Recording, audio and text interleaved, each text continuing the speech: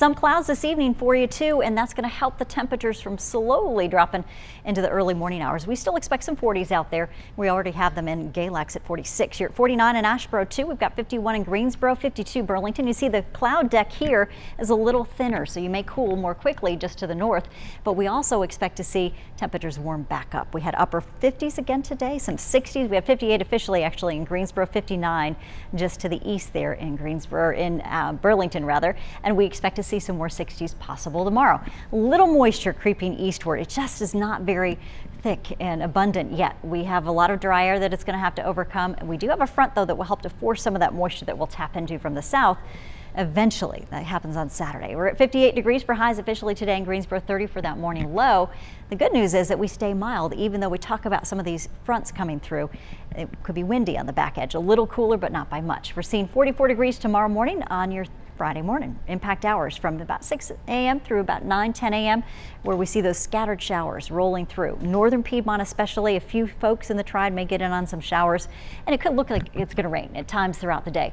Then some cloud thinning even through the evening hours. Rain chances should be limited until we get you into Saturday morning. 43 degrees in the foothills from Mount Airy up through Jonestown or Jonesville rather 51 degrees around 9 a.m. to 56 at lunchtime 61 and those rain chances they also drop off as we go through the afternoon.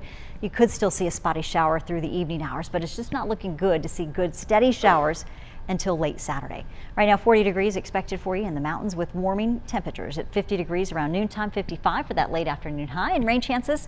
They'll also be coming back up as we go through the evening hours and good rain chances for everybody by Saturday morning. Here's what's happening. You see the mild air on our Friday. Friday morning, couple quick passing showers.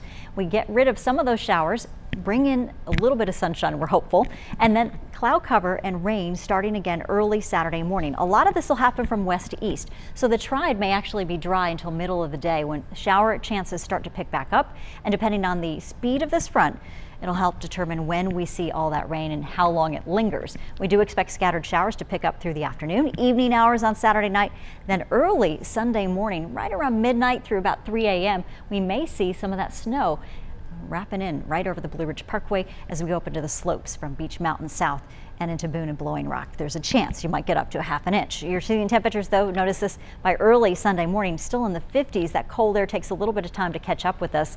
And really it's a milder air mass right behind it. So we're expecting some mid 50s for the afternoon. We've been talking about Sebastian out there too. This is a late season, possibly hurricane by late tomorrow afternoon. We're seeing it warm waters over low 80s.